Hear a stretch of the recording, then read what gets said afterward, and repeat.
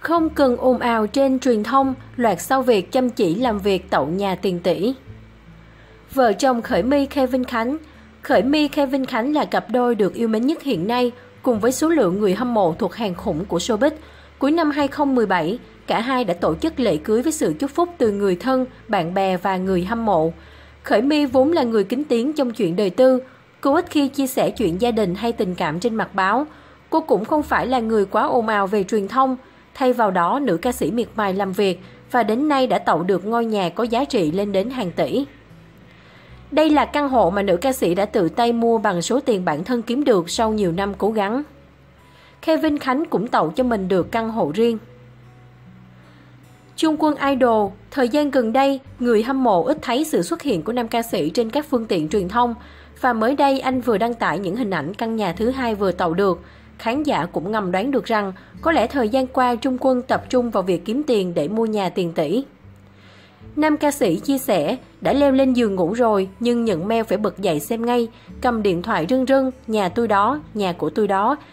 Đã thực hiện được cái ước mơ của những ngày đầu tiên đặt chân xuống Sài Gòn. Cái hồi còn trẻ trâu hay tự nói với bản thân là mai mốt có nhà sẽ làm cái này làm cái kia, sẽ gắn cái này sẽ đến cái kia.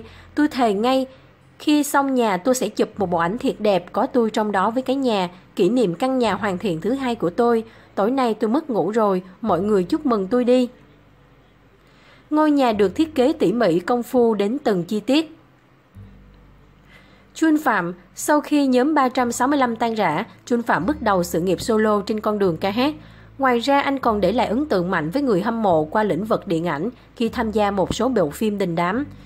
Đầu năm 2018, Jun Phạm bất ngờ khoe về căn hộ cao cấp mà anh vừa tậu được. Nhờ sự lao động chăm chỉ trong năm qua, anh chàng chia sẻ, năm 2017 đinh dậu của mình khép lại thật tuyệt vời và thành quả là một căn hộ nhỏ xinh xinh do chính tay mình mua và vun đắp từng ngày. Cảm thấy tự hào và hạnh phúc, hy vọng năm 2018 Mậu Tuất sẽ tạo được những thành tựu lớn hơn nữa. Căn hộ chung cư có giá trị lên đến hàng tỷ đồng, sau nhiều năm vất vả, Jun Phạm đã có được không gian riêng cho chính mình. Johnny cũng là cựu thành viên 365 đình đám một thời. Johnny từng khiến khán giả bất ngờ khi quyết định rời khỏi nhóm. Sau nhiều năm cày cuốc, nam ca sĩ tậu về ngôi nhà có giá trị trung bình 3 tỷ đồng. Đó cũng là món quà sinh nhật mà Johnny tự thưởng cho bản thân. Căn hộ mà nam ca sĩ vừa tậu có view hướng ra hướng đắc địa ở quận 2. Anh tự tay sắp xếp đồ đạc và thiết kế căn nhà.